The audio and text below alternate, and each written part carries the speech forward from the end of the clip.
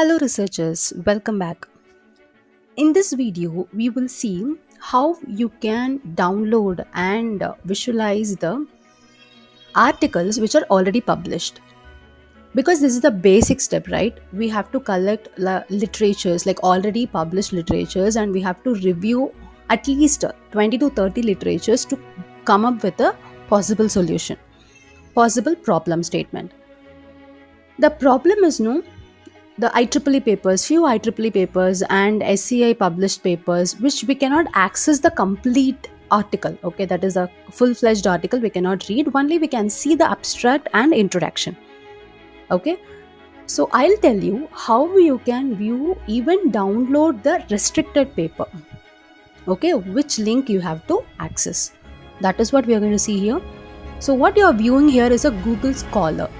This is the website which is provided by Google itself to make our work very very easy.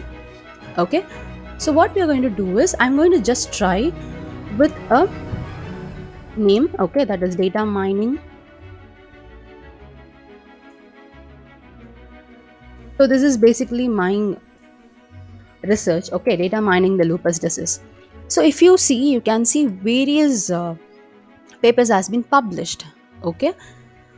In the left side you can see that what are the time ranges. So as you are downloading the papers it should be at least 5 years. Like you can only take the papers which are only 5 to 3 years old. Okay? So you cannot uh, mm, bring up the paper which are from 1990 1998 like that. Okay? It is advisable to add the references like that. Fine? See here you can see that uh, this is uh, this is the link for uh, science direct where you can see only the sample screen that is the abstract okay? And uh, see if you just click here so it's from uh, i think it's a science direct scopus okay? So you cannot access here. You have to purchase the pdf okay? Now what i'm going to do is i'm just going to copy this url and i have an another website called sci hub. Okay? I'll i'll paste this url in the description box. So sci hub. So simply paste it here and click open. Okay? Where you can see the complete paper. Okay? This is your complete paper which will be downloaded. Click open. It will prompt you for the download. So you can just simply select the path where you want to download. And if you try to open it you can see the complete paper. Can you see it here? Yes. So this is what the very first thing you should know. Like even if it is a access restricted you can easily download it. Okay? Because we have to access it right? That is what like you can use google scholar. Here you can see that it's an Elsevier paper and it is released in 2017 okay and you can select any time range and even you can click a custom range. Okay click on the custom range and give 2016 to 2021 okay because you just need uh, uh, the papers between these years. Okay if you are trying to add any reference in your journal or a conference paper you have to add it like this. Fine? And it should be uh, try to include the reference paper which is has been published in a well-renowned journals like IEEE, Elsevier, Scopus, like um, uh, Springer, like that. Okay, because uh, that too will be counted. If you are trying for uh, international Scopus-based conferences, then even the references will matter. Okay and here you can see that um, this is the paper one that is the first one which is shown and below you can see that you have some options okay? Like uh, how many how many persons have cited and what are the related articles which are related to this and how many versions are there okay? And if you see this quotation mark okay this is called a cite okay? Click here cite. You can see the various format of citing okay? So in your reference uh, even if you're trying to apply like a submit for a conference or a journal they'll be having a specific reference format like apa reference mla reference okay? So that you should be very very clear like which format you are uh, using for your reference. In while i was working while i was submitting um, for the conferences no during 2015 i think yeah. So there i'll be writing everything right from the like once if you see the paper no you can see who is the first author and the last author okay so he's the first author he's the second author. So i'll be copying this and then i'll copy this uh, paste it in my reference and then um, uh, which uh, page number and when it has released everything okay? But google scholar has reduced almost all this work. You can simply select if you want uh, mla style then simply select here. If you want apa style and if you want chicago harvard vancouver so whatever style you want you can simply select and copy it. Okay? Right click and copy or else control c.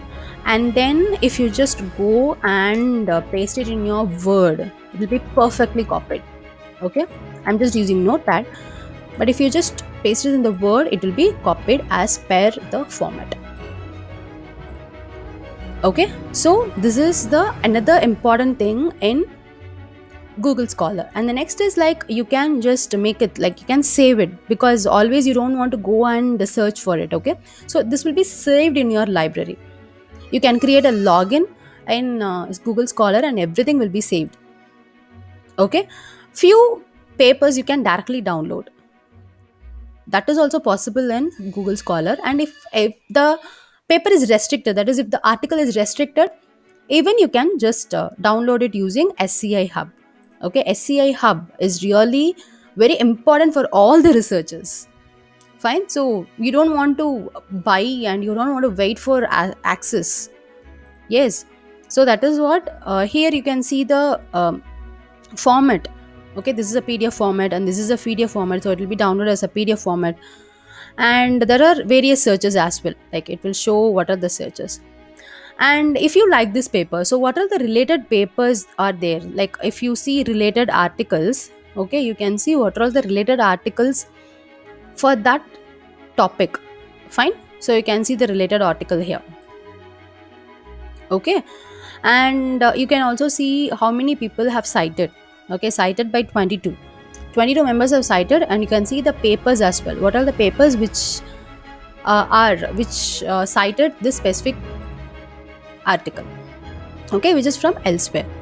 Okay so a uh, few things you should remember always. So whenever you're trying to write a article for a conference or a journal or sci journal scopus journal even international ugc cat journal you should always keep this in mind.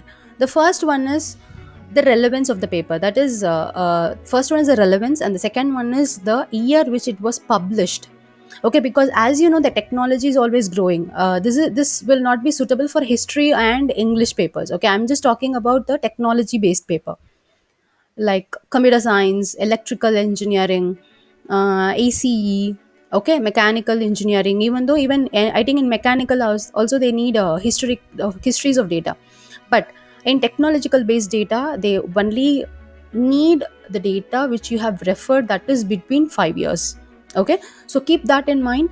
You should only consider the 5 years of data and then it should be published in the highly renowned journal like Elsevier ieee and uh, scopus like uh, sorry uh, springer. Okay? That you can easily see it here. So in which journal it has published? It is published in the Elsevier. It is published in the Elsevier. Okay? So based on that you have to get it.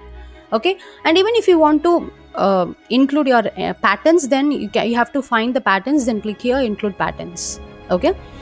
And if you need uh, that if anyone has uh, recently published the paper and you need that alert like they have published like that then you can just simply click create alert and then uh, it will be created okay? So data mining lupus and then just uh, create alert click create alert.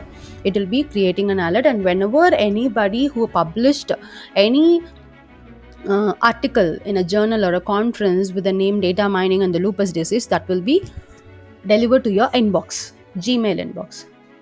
Okay got it? So hope you find this video very useful. Like you can easily download it. And please share this video to everyone so that everyone will uh, get this uh, the the importance of this research and also they will know they will come to know how to download and they will make use of it. Thank you so much for watching bye bye